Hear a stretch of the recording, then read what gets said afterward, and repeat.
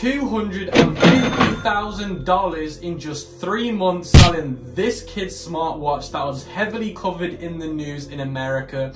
Now, I'm going to be showing you how Camille Watch, this website, did over $250,000 in just three months from June to August 2019. Hard to breathe, but that's alright.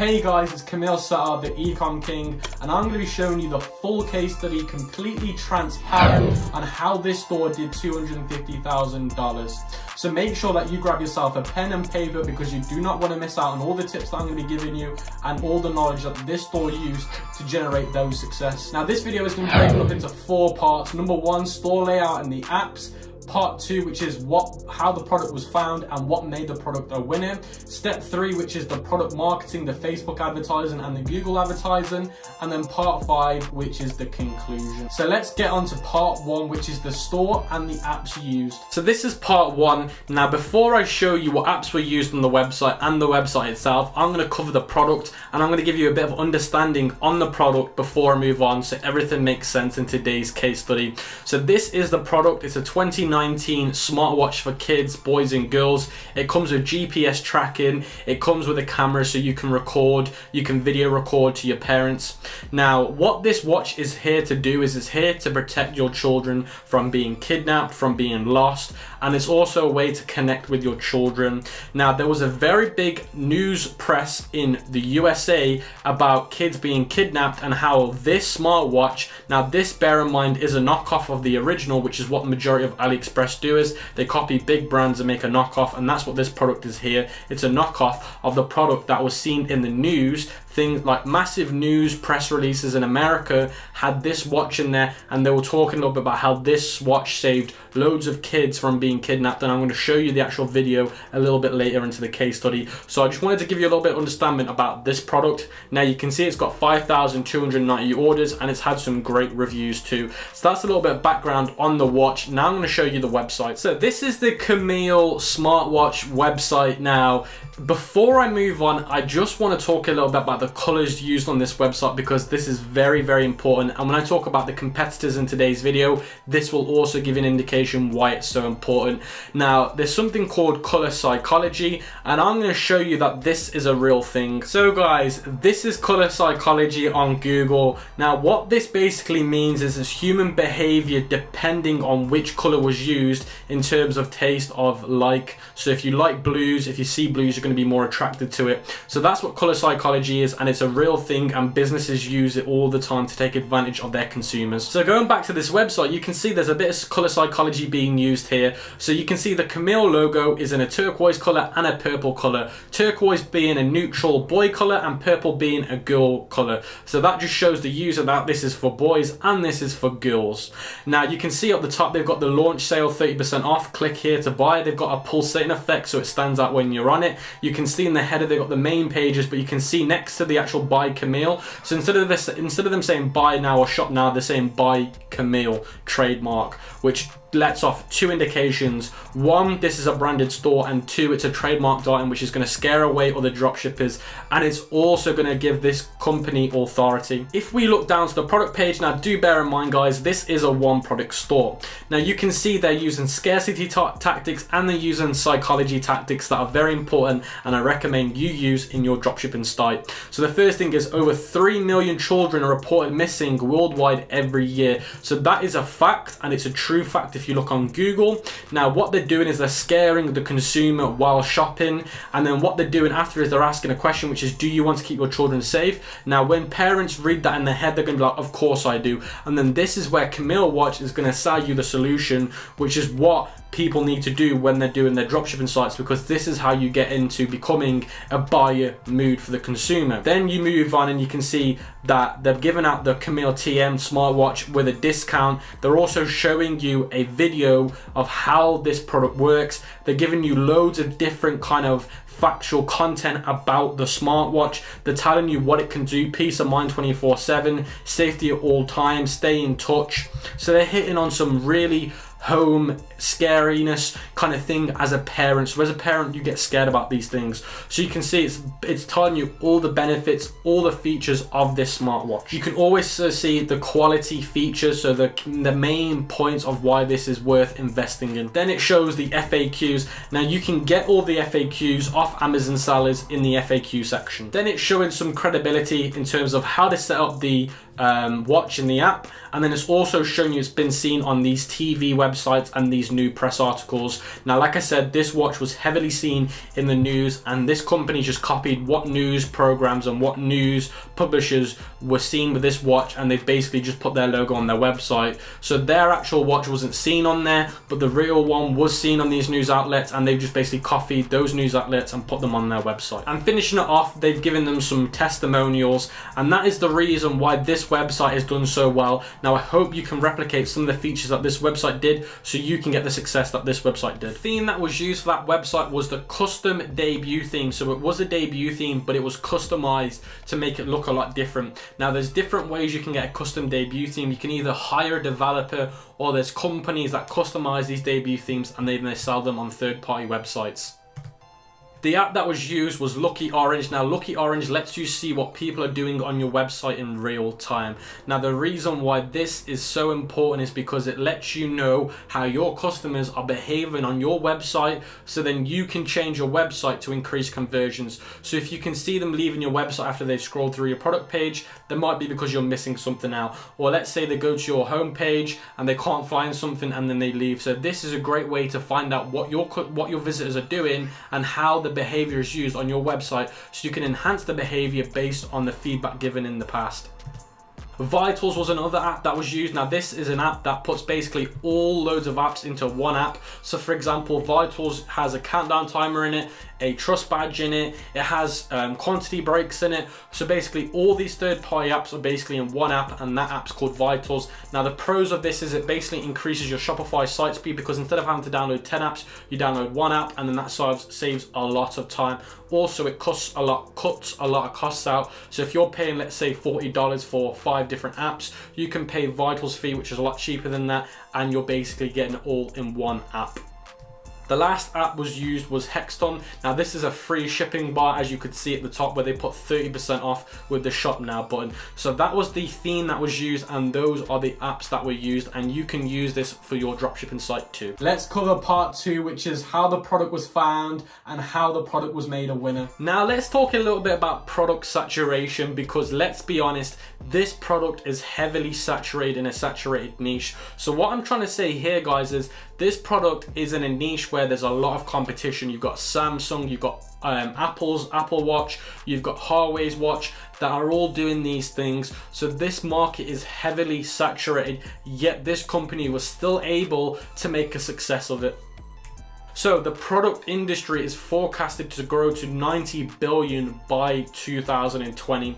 So in terms of saturation, yes, there is a lot of saturation, but in terms of growth, there's always going to be growth happening in the next five years, which means all you need to do to enhance the growth and take a bit of your little pie out of this cup is by doing a different marketing technique. And with a new marketing technique, you can basically strive for the new billions coming into the market industry. If you keep doing what everybody else is doing, you're not going to get anything. But if you take a different approach, which this company did, then you're going to be able to eat into some of this future profitability, which is 90 billion. With a unique marketing angle, anything can sell to new audiences. Apple products are a great example of this. So Apple are never the first to create an innovation. They used to be, but they're not anymore. So for example, iPhones now come with, sorry, phones now come with three cameras. iPhone weren't the first ones to do that. Samsung, all these other Chinese brands were the first ones to do it.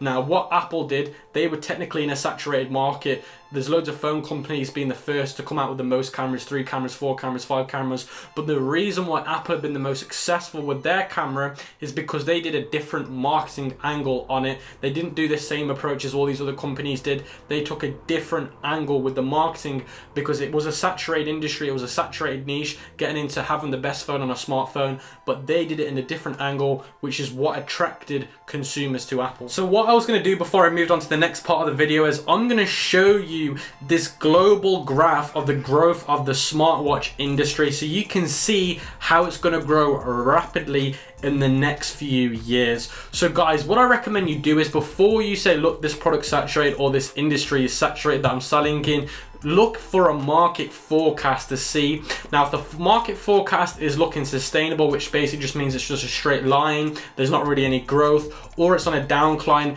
then yes, be worried. But as you can see here, there's lots of money to be made as long as you do something new and innovating in terms of the marketing. And that's what Camille Watch did to be able to create that $250,000. So guys, this is what I'm gonna show you. And I recommend you do the same for when you're testing your product. Now, all you need to do to get market graphs is typing into Google your product name and then or your product industry, then market forecast. And then these third party companies on Google will do the graph for you and give you their predictions. Something else that I wanted to show you about the product saturation was the Google trends. You can see I put smartwatch in, I've changed it to worldwide the past 12 months and you can see it's in a steady environment. Now if there was a lot of inclines and downclines that means it's unsteady, it's un it's it's just not guaranteed because if something's that unsustainable you need to worry and you can see the smartwatch industry is pretty neutral which is a good thing which means there's no interruptions. Now of course when November hits, it's going to take a massive hit because of Christmas.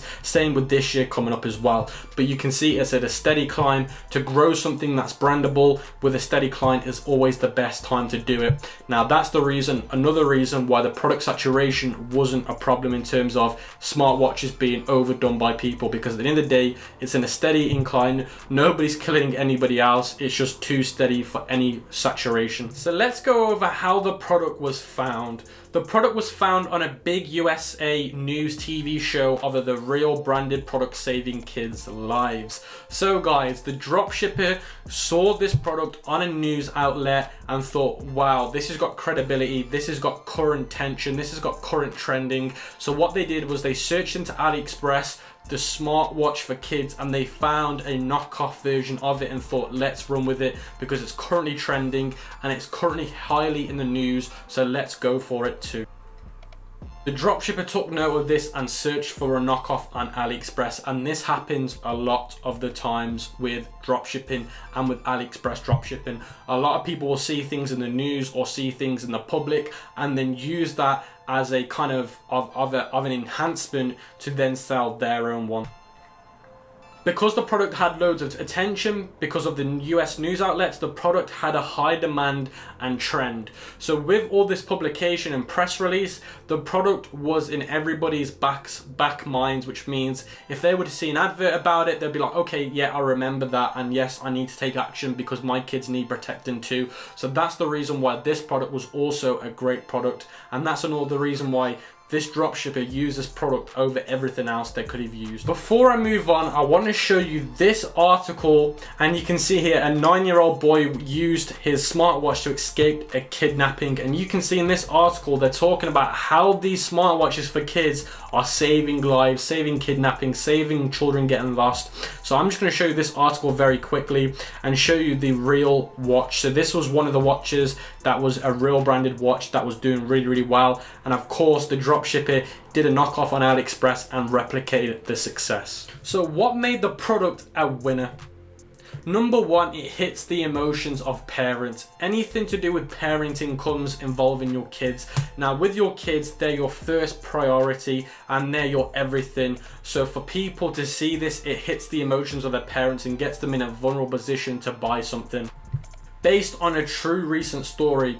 So I always say to people, true stories always sell. A story that's good and true will always sell, especially if there's emotion enhanced into it, which there is with this product in the back of the mind of the parents. So with the parents, they're living their lives vulnerable with the back of their mind saying, look, let, this is what's happening out there and I need to do this for my kid. So just think of it from your point of view where you should be doing something but you haven't, but it's in the back of your mind. So when you see things that are related to it, you're like, okay, yeah, I need to do it, I need to do it. This is the same way these parents are feeling when they didn't when they didn't go and buy that watch. They're thinking, okay, if I see it again, I'm gonna buy it because I need to buy it. And it reinstates that emotion again.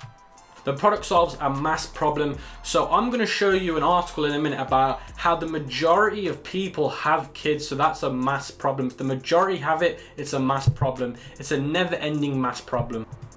And also, before I carry on, I just want to say kidnapping and children going missing is increasing year on year on year on year, which means products like this will be forever green. The audience was big and easy to target. So to target parents and to target parents that have kids is never been easier than it is today with Facebook interest and Google keywords the target market was already warm traffic. So what I mean by this is target market was already has already seen this news outlet and especially in the US and when I get onto the target and on the product I'll be explaining why it's such warm traffic because with this product the dropshipper only targeted the United States, which means everybody in the United States, the majority, saw this press about the smartwatch saving kids from getting kidnapped and getting lost. So the market was already warm to this concept of getting your kid a smartwatch to protect them. So guys, I found this Quora article online. Now Quora is a very, very trustworthy place. There's a lot of professionals, a lot of journalists on here. And this and this kind of Quora quote was, was validated with articles too. And you can see here about 89% of people become parents and of course with parenting becomes kids that are vulnerable and obviously with um, mass kidnappings and, and, and stuff like that, kids getting lost becoming even more of a problem each year on, each year on, which is a sad thing to happen, means this industry, this product is going to be forever green and forever profitable and forever in demand. So I always recommend doing competitor research and this is what we also did with the product. Also look at what the big established brands are doing, not dropshipping brands. So the reason why I say look at established brands over dropshipping brands is dropshipping brands are nowhere near as big as established brands in terms of revenue and profit. So look at the big guys and copy what they're doing and see the kind of things they're doing, which is enhancing their brand and their establishment look out for the following. So when I show you the competitor, one of the biggest competitors to this watch brand, look out for these following things.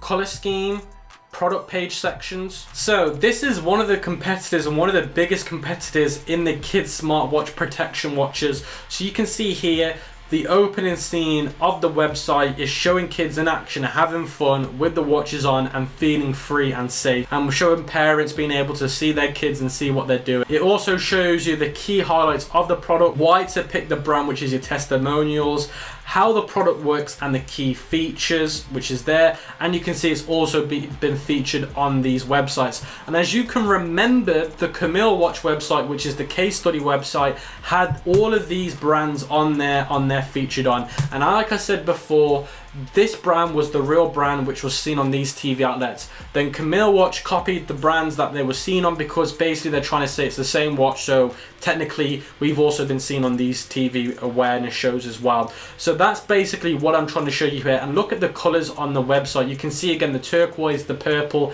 and also they've added in a, uh, a kind of yellowy orange colour. It's to show that it's a neutral website which means neutral genders which means boys and girls. So guys if you take a look at this website and have a have a real feel for it, you can see a lot of similarities on how this website was constructed compared to the Camille Watch website. Camille Watch website used a lot of the enhancements of this website, took a lot of inspiration from this website to obviously make a success with theirs because this website is doing very, very well. And that's what I mean by copying the big brands because these are legitimate brands with real products and they're not drop shipping stores and you can see the quality of the store is a lot higher. The next thing that I wanted to show is I wanted to show one of the biggest competitors on Amazon selling this kid smartwatch. Now the reason why you don't need to be worried about Amazon sellers because I always hear what about Amazon, what about Amazon, what about Amazon? Number one, Amazon don't do paid marketing which means that you'll only know the products if you know about them already and you're searching for them. Number two,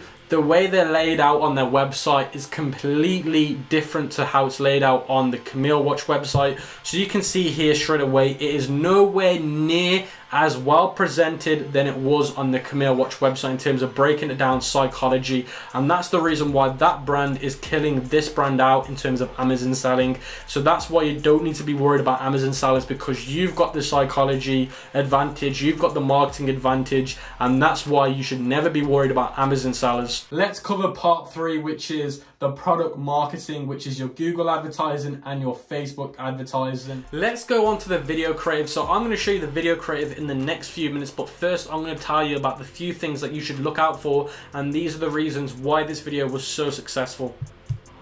It focused on the news outreach, which number one builds authority. The next point is it showed a real horror story which gets the viewers in an emotional state. Step three is focus on how the product saves lives and protects lives. Gets viewers in a buying mood because at the end of the day they're seeing the problem, they're seeing the solution, now they're open up to buying a product if it meets their pricing. Step number four shows users testimonials. So what they're doing is they're showing other parents with their kids having this product, which basically makes them feel like, look, if, if this works for somebody else's family, it'll work for my family. So this was the ad copy of the Camille Watch Facebook page. So you can see straight here, it says one mother's incredible story inspired the creation of the children's GPS smartwatch with a shocking face, protect your child. This was literally just a two liner ad copy. And I've always said to a lot of my students, two liners will always work if there's emotion involved. So straight away, it's covering one mother's incredible story. So straight away, it's going to resonate with mothers watching this. Number two, it's talking about how this smartwatch is saving children's lives. Number two, it's saying protect your child and then basically go to the website to protect them. Number two, it, sorry, number three is protect your child with Camille's, um, Camille's watch today with a trademark symbol. They're showing the five star rated 8, 4.8 out of five stars by customers. That's just to build a bit of trust with customers.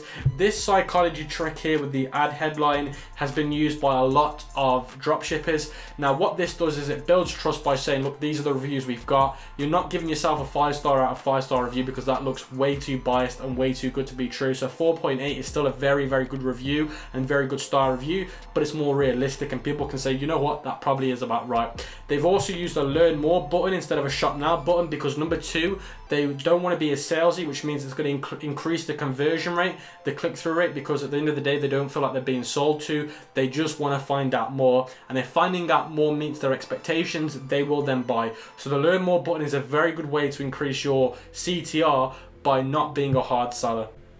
Now I'm going to play the video for you and show you how this video was so successful.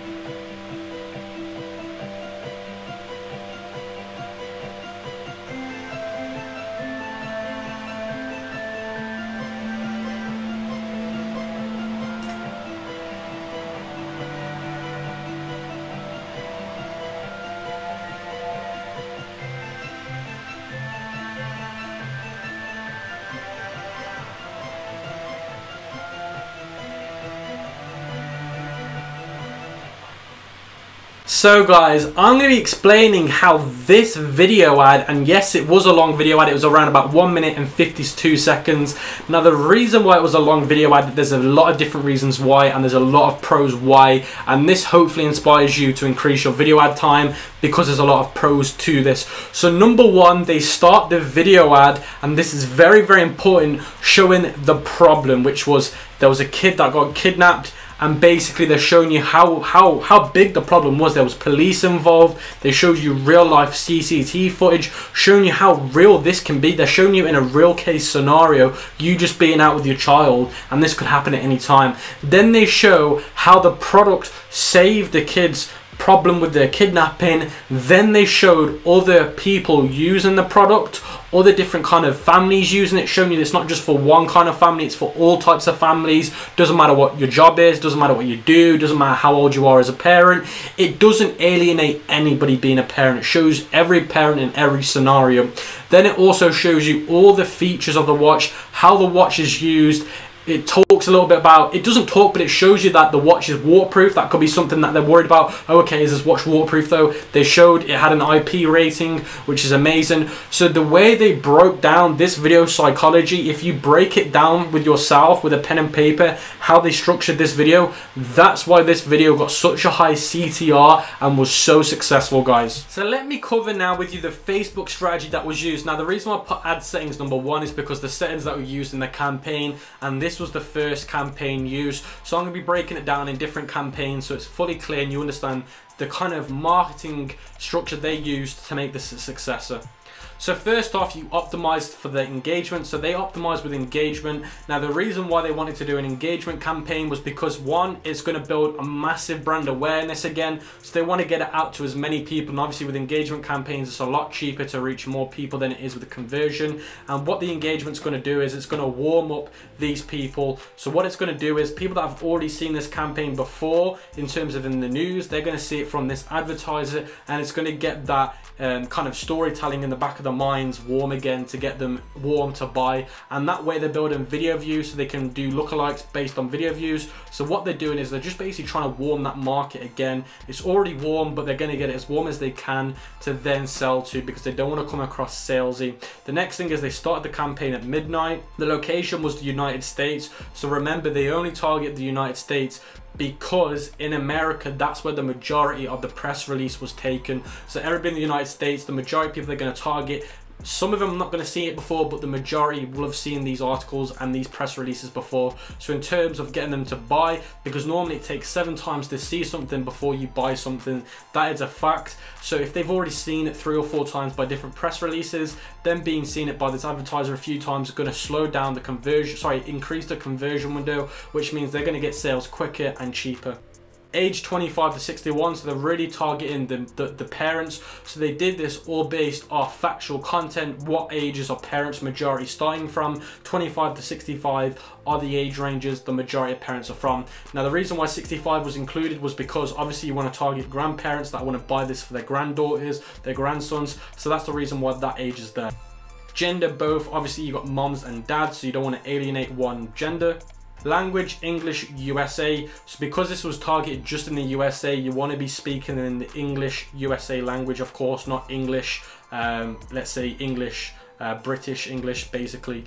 So the next thing is excluding, so they excluded dropshipping, they excluded Shopify, they excluded Amazon, and they excluded eBay. So the reason why they did this was because they didn't want other dropshippers copying them. They didn't want to get found in the ad library for this topic, which is dropshipping. They didn't want to do it for Shopify, and they also don't want people that are in, interested in Amazon or eBay being seen by because that way they're going to want to go to those websites instead and obviously buy from them. So excluding these kind of interests will increase the conversion rate and will increase your cost per result so that's why this was done. Let's talk about the ad settings too. So this is more in depth on how the campaign was structured so in terms of the interest, they use parenting interest, so things like mother care, pampers, um, anything in terms of anything to do with parents was used.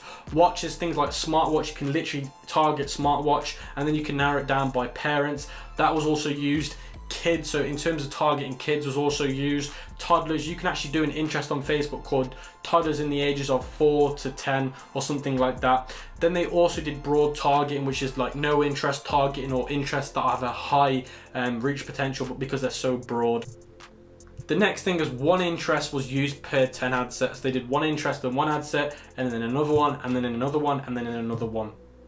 Broad interests only so they only did broad targeting because they wanted to target as many people as they can and because this is such a broad product they can target anybody in the parenting or childhood industry or kind of audience. Use suggested interest so guys use suggested interest. This company also uses suggested interest. This way you're going to get great interest and facebook's really good with recommendations these days with the new algorithm changes so lifetime was five days, so they did a five day campaign with these PPEs because they wanted to build brand awareness and those video views so they could do retargeting with lookalikes.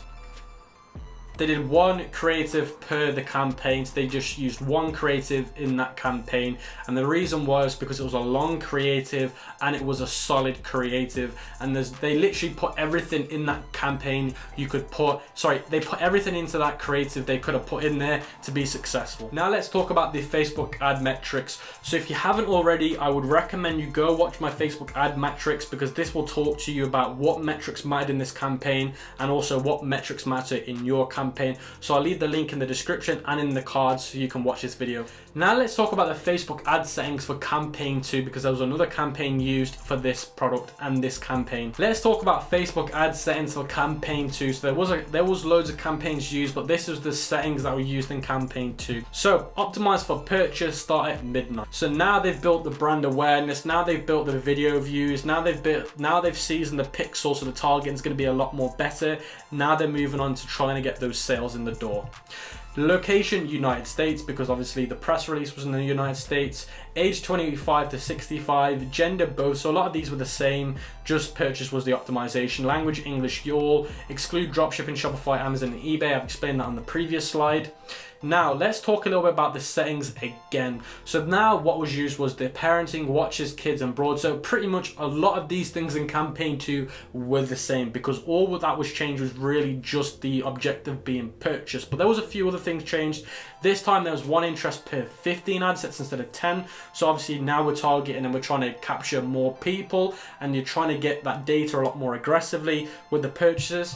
Broad were only used again, guys. You suggested interests and budget was $150 lifetime two days then assessed to kill to scale. So the whole budget used on a daily basis to start with was $150 and there was 15 ad sets so you can imagine that's $10 per ad set. The lifetime was two days with this campaign and obviously after two days there was assessing in terms of when to, what should have been killed and what should have been scaled depending on the metrics Creative was one again, so there was only ever one creative used, which means ad copy, thumbnail, and ad headline because it was a solid one and it was working.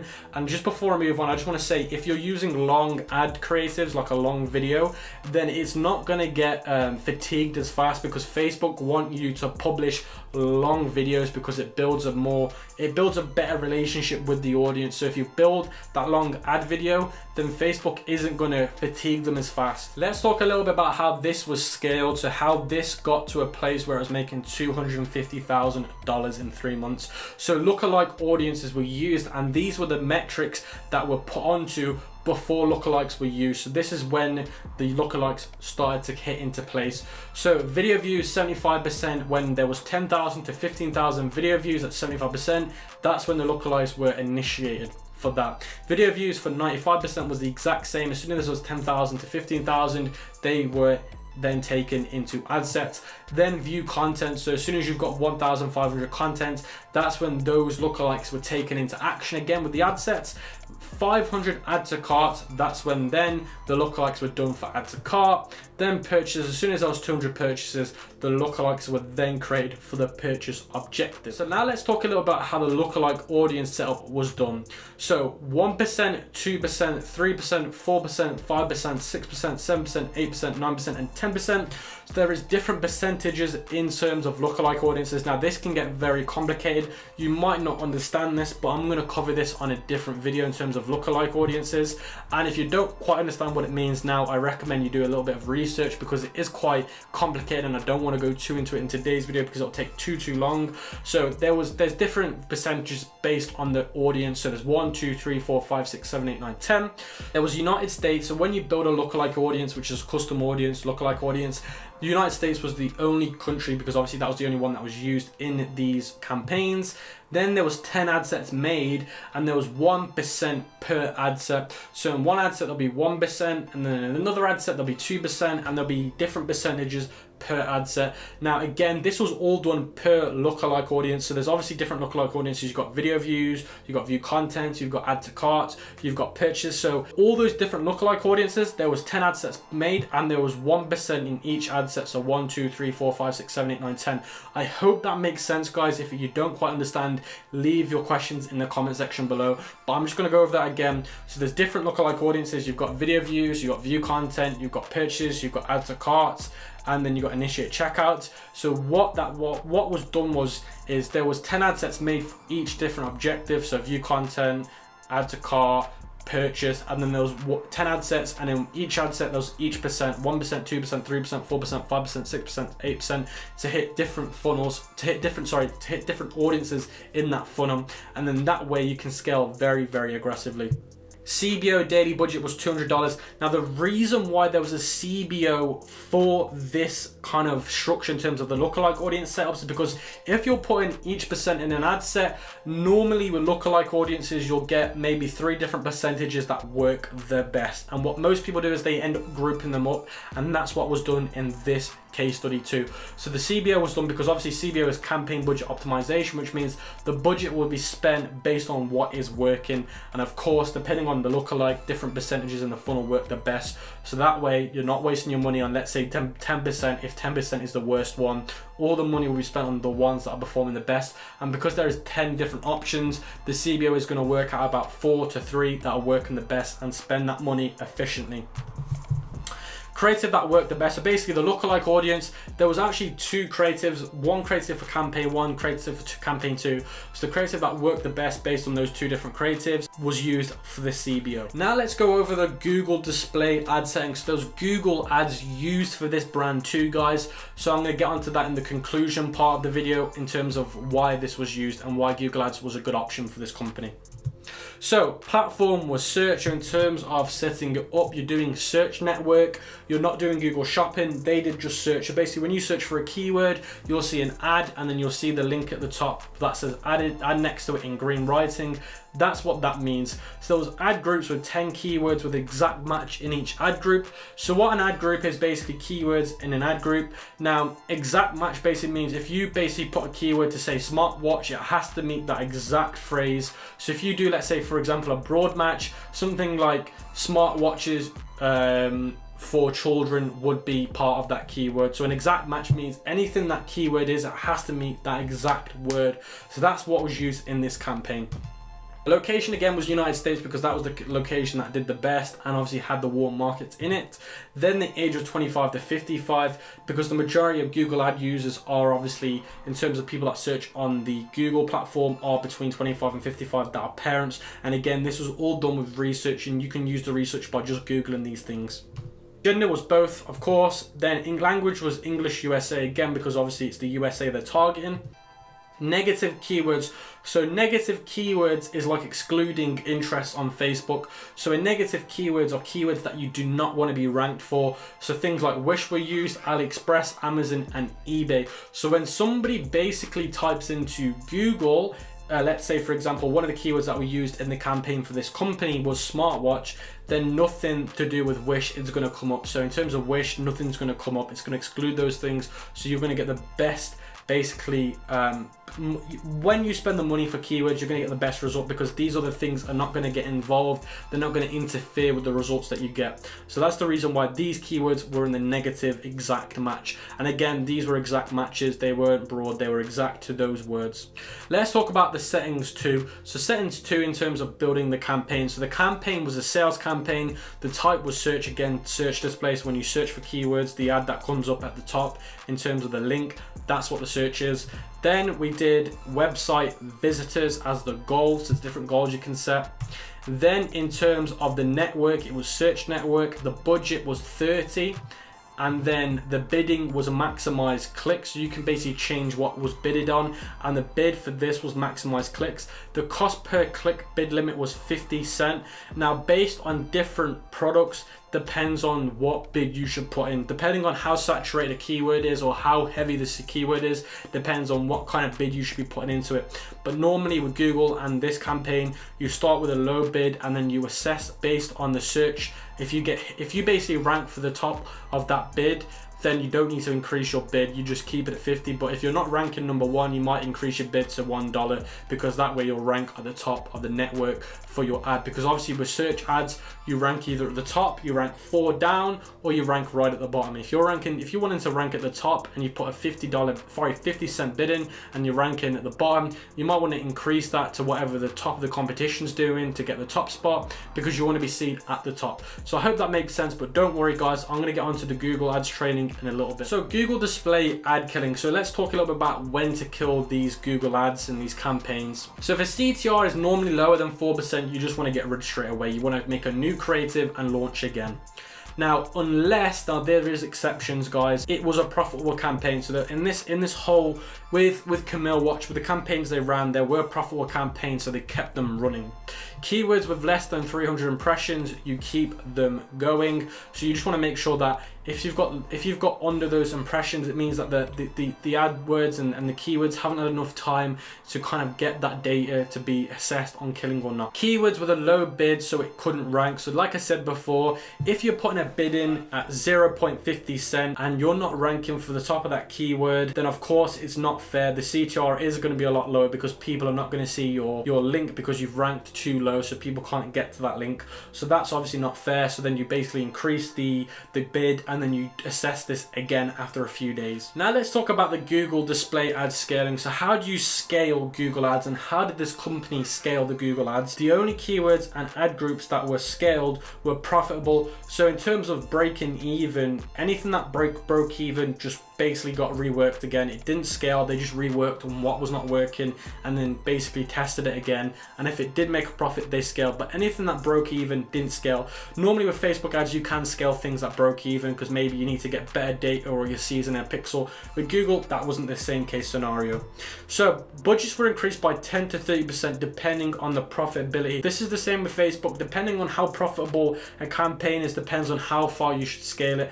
And that was the same tactic used with Google ads for this Camille Watch website. More keywords were tested. Keywords that were working were changed from exact match to broad match. So this is a very common way to scale Google campaigns. So let's say you're using keywords like smartwatch and it's an exact match and it worked really, really well. You're getting good profitability out of it, good ROI on it. Then you may want to change it from a from an exact match to a broad match because you're doing really well, really, really well with it. Let's see what Google can do with a broad match to scale. So it's like doing no interest targeting or basically making broad interest. As soon as you've got the data with your Facebook pixel, you can start to do more broad targeting because the, the pixel knows what it's doing.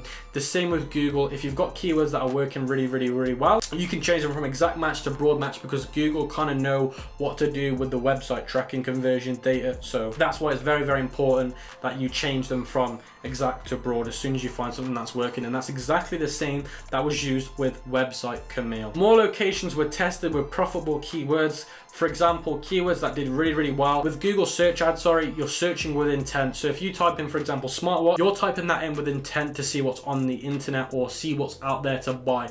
So in terms of the press release, it didn't matter so much with Google ads because like I said, it's all about searching with intent.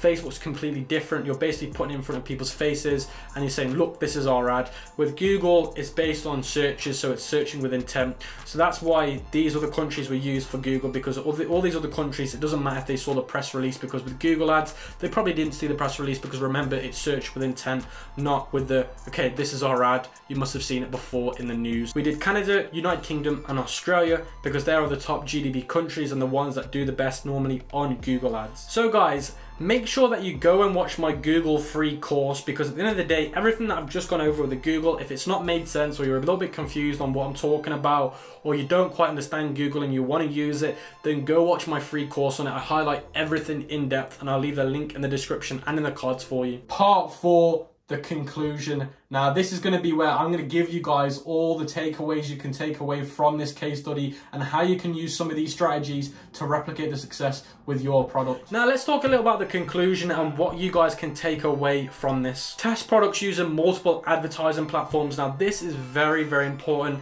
if you're just using Facebook, you're leaving money on the table. Use Google as well. Use YouTube as well. I've done all of these. If you're interested in using YouTube, is by far one of the most underrated platforms at the moment, and it makes so much money for dropshippers that are doing it correctly. And if you want to learn more about YouTube ads, I've got that on my YouTube channel. So go out there and look for it. It's called YouTube Ecom Ads.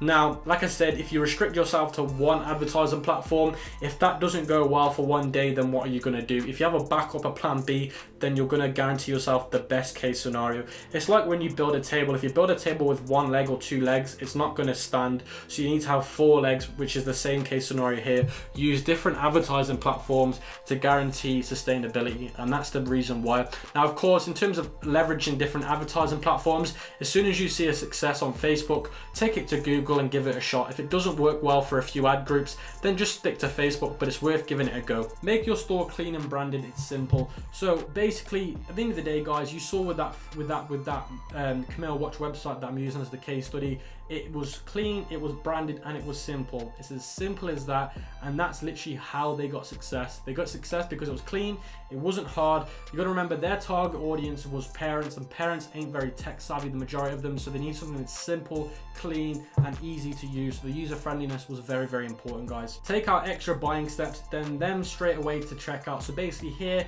there's a lot of people that, that build websites with ecom and they put too many steps involved with the buying step process and that just puts people off. People want an easy way to buy something. They don't want to have to fill out loads of different things.